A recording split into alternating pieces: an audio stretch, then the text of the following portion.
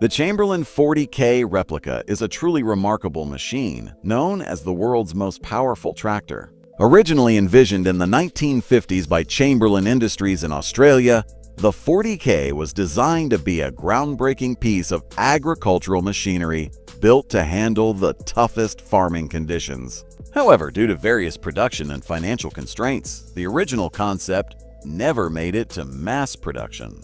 Decades later, a group of dedicated engineers and tractor enthusiasts decided to bring this lost legend back to life, constructing a fully functional replica that stayed true to the original design. The result is a one-of-a-kind monster tractor that stands as a tribute to both engineering ambition and agricultural history.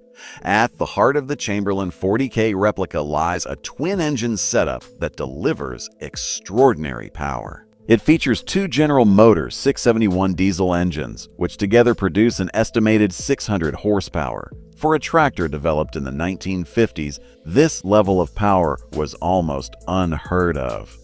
Even today, modern tractors struggle to match such brute strength without relying on high-tech electronic enhancements. The 40K's dual engines work in unison, generating immense torque that allows it to pull and plow through the most challenging terrains with ease. Unlike today's GPS-guided, computer-assisted machines, the Chamberlain 40K relies entirely on raw mechanical power, making it a true powerhouse in the world of agricultural equipment. One of the most striking aspects of the Chamberlain 40K replica is its sheer size. This tractor is a massive piece of machinery, dwarfing most other tractors on the field. The enormous wheels, reinforced chassis, and oversized components make it look more like a military vehicle than a farming tool. Its presence alone is enough to turn heads, and when it starts up, the deep growl of its diesel engines commands attention. The original Chamberlain engineers aimed to build a machine capable of handling Australia's toughest landscapes, and this replica stays true to that goal, proving its durability and resilience in action.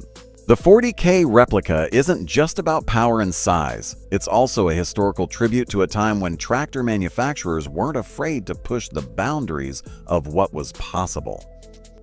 In the mid-20th century, Chamberlain was a major name in the tractor industry, known for their innovative designs and rugged machines. The 40K project was an ambitious attempt to create the ultimate farming tractor, but unfortunately, the cost of production and limited demand prevented it from becoming a reality. Thanks to the team that built this replica, we can now see what could have been and appreciate the engineering brilliance behind the design. Despite its unmatched power and durability, the Chamberlain 40K replica isn't a practical choice for modern farming farming. Today's farmers rely on tractors that are fuel efficient, equipped with advanced hydraulics, and integrated with smart farming technology.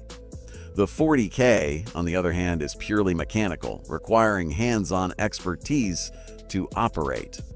It is more of a collector's item and a historical showcase rather than a practical workhorse. That being said, it remains an awe-inspiring machine, drawing crowds at exhibitions and agricultural events.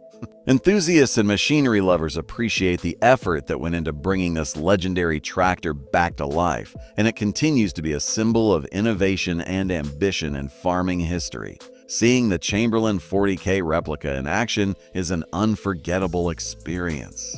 When its twin engines roar to life, sending vibrations through the ground, it's clear that this is no ordinary tractor. The way it moves, the way it sounds, and the sheer power it demonstrates make it one of the most fascinating pieces of farming machinery ever built. It serves as a reminder of a time when engineers were willing to dream big, designing machines that could revolutionize the industry. While the original 40K never got its chance to shine, the replica ensures that its legacy lives on, standing as a monument to both agricultural engineering and human determination.